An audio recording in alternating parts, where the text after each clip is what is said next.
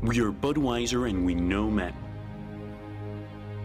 They love this bar, but they also love this one. This is a problem.